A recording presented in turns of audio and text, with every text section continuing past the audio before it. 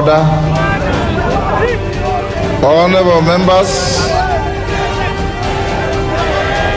the results of the division on second reading of the Finance Bill 2024 is as follows. Ayes 204, nays 115, abstentions nil. So the ayes have it.